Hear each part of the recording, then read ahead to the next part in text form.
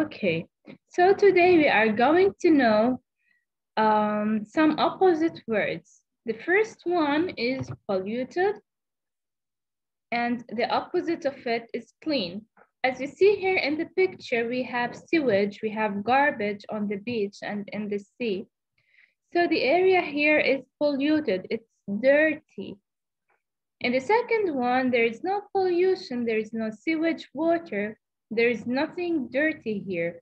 It's clean, okay? So polluted and clean have opposite meanings. Let us look to the word dangerous and safe. As you see here in the picture, it's unsafe to walk here. It's dangerous. We can't walk here. It's dangerous. However, in the second picture, it's safe to walk. Okay? Dangerous and safe have opposite meanings too. Let us look on the words beautiful and ugly. Beautiful, it's nice. It's a nice view here. We have the green plant, plants, green trees. We have a clean area here. However, here in the second picture, we can see broken wood. We can see that the trees are bare. There is no leaves on them. Somehow the area here is ugly, okay? Let us move to the exercise one, where we have uh, in the first picture, a river. What do we have in this river? There is garbage, a lot of garbage. So the water here is polluted. The water is polluted. The river is polluted. Let us look to number two. There's something broken here. Somehow the area here is ugly. Okay, it's ugly. The park is ugly. We look on the picture of number three. We can see broken wood. We have broken wood. Is it safe to walk here? No, it's dangerous. This is dangerous.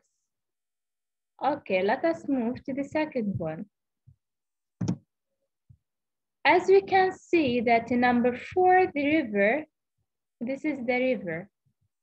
The river is clean. There's no dirty things. There's no sewage. There's no uh, rubbish. So the river is clean. Okay. In number five, as we can see that this park has a lot of trees it's clean.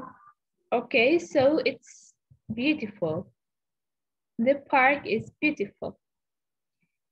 As you can see in picture number six, there's nothing broken here and it's completely safe to stand in here.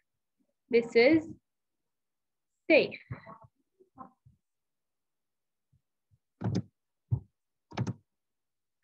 So now we are going to talk about dolphins. Okay. So uh, this little girl is saying that Dolphin Dreams is the perfect holiday. We take people in our boats and we visit dolphins in the sea. You can swim with the beautiful dolphins. So here in the Dolphin Dreams, a place where there where we have dolphins, you can swim with the dolphins in the water. Do you know Dolphins aren't dangerous. They are very friendly. They love playing people. They are not dangerous, so they are safe. Okay? Dolphins can't breathe underwater, but they can stand underwater for about 15 minutes. They can't breathe underwater. Dolphins live in families. Dolphins have names. Their names are special sounds. As you know that dolphin makes some uh, special sounds. They use these sounds, okay? They use these sounds to call their friends and families. Dolphins can't live in polluted water. So here lies the problem. The dolphins cannot live in polluted water. They need clean water.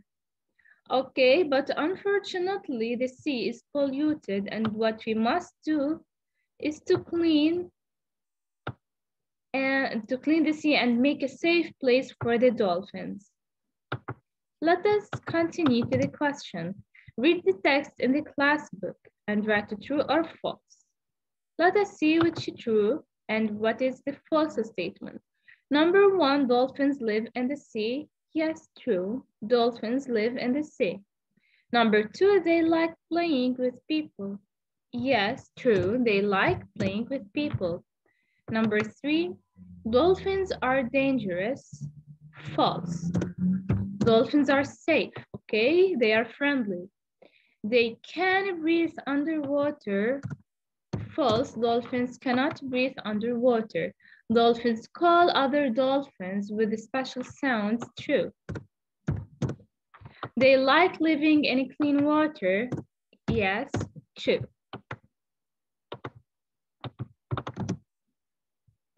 So here we're going to put the words in their suitable statements. So number one, dolphins aren't ugly.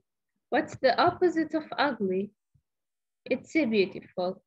Dolphins can't live in polluted water. They live in, they live in clean. They live in clean water. Dolphins are safe. They aren't dangerous. Dangerous is the opposite of safe. A lot of the sea isn't clean, it's polluted. Okay.